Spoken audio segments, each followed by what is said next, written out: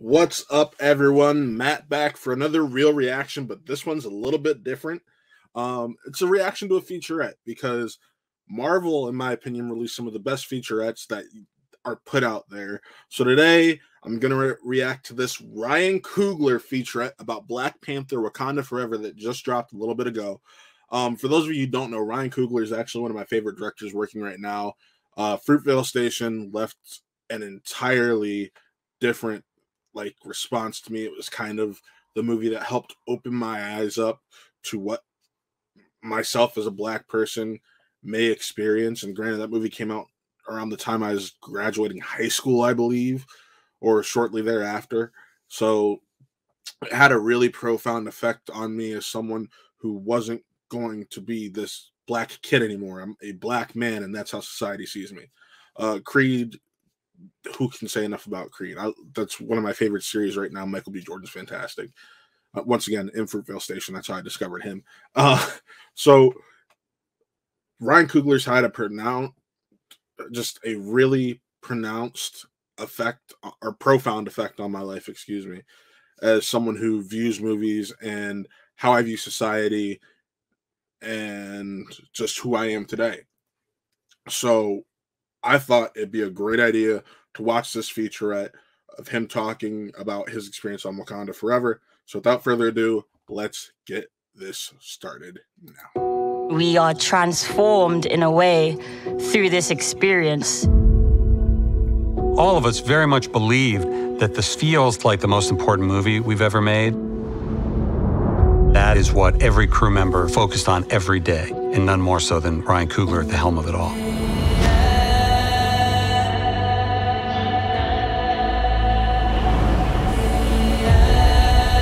Ryan is such a big heart and such a great storyteller. The actors that he's brought together were filled with emotion and passion. Reuniting with Ryan Coogler, it was incredible.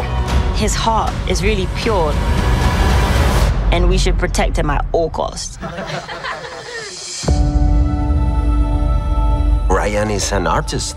He has the heart to listen to you to look in your eyes and go deep, not just in the story, but in your soul.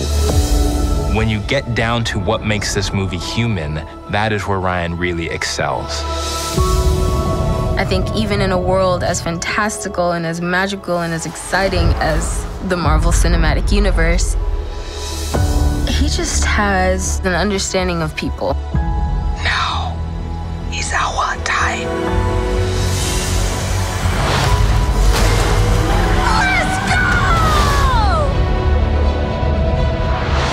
There's an embracing of culture. And Ryan is going a step further, and we're remembering, we're restoring, we're celebrating. Above all, it is a relationship movie. We'll have some incredible set pieces. But at the end of the day, I think what people are going to really remember is the conversations. How do you move forward after losing someone that meant so much to you? You have to continue the legacy.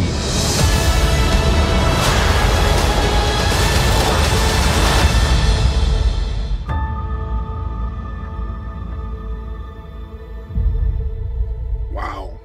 Um that that was honestly really moving and powerful. Um hearing how his cast and crew speaks about him and how funny enough, I had a, uh, a conversation with my professor today who who said she had never seen Black Panther, the the first one, but this one kind of interested her because of the situation, and the reason being, um, because she doesn't care for action movies that much. And funny enough, what I pointed to is the fact that Ryan Coogler isn't there to make an action movie. He's there to make a full on story that has a purpose and tells us about some sort of human condition.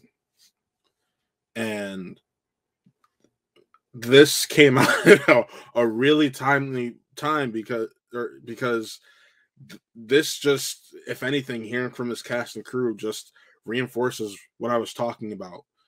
Ryan Coogler is just different. He, he's on another level compared to a lot of filmmakers today. And hearing him talk about how ultimately this is a story about relationships and moving on for, after losing a loved one. Um it's, it's powerful because a lot of people don't realize how close he was to Chadwick Boseman. And seeing interviews where he talked about where he offered to let Chad read the original draft of Black Panther 2 before his passing, what was the movie we were supposed to have. And Chad said no because he didn't want to interfere with the studio's notes. But the truth being that he was too tired to actually read it is just heartbreaking. So, I mean, for, lo- for those of you who don't know, tomorrow at noon Eastern Time, our review for Wakanda Forever drops. Um, so tune in for that. But just, I am so proud that Black um, African Americans are able to have this type of movie, this this type of event film to come out to and support. And I know there's a lot of people who are very anti this movie because, well, they didn't recast T'Challa. There's more than just black men that are important. We're important as a culture in general. So please go out and support this movie. Support black women. Support our culture in general. Uh, I'm seeing this tonight, and that's why their reviews dropping tomorrow. So be sure to check that out. But yeah, until then, I'm Matt. Remember to like, subscribe, and comment because I want to know what you thought about anything I had to say and this featurette. So uh yeah, until then, I'm Matt. This was another reel reaction, and we'll see you next time.